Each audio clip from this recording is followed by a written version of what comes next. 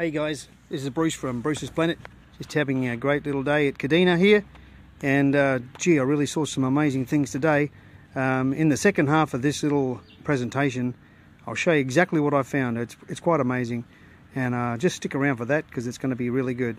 Anyway, so here I am just having my lunch. A couple of mandarins, a bit of chicken at Kadina here. And I've got the Drake store behind me.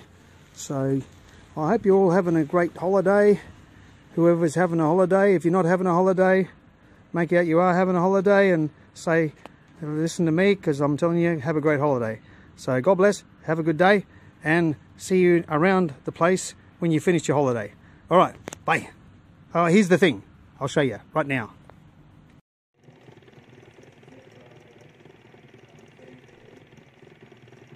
Isn't it exciting?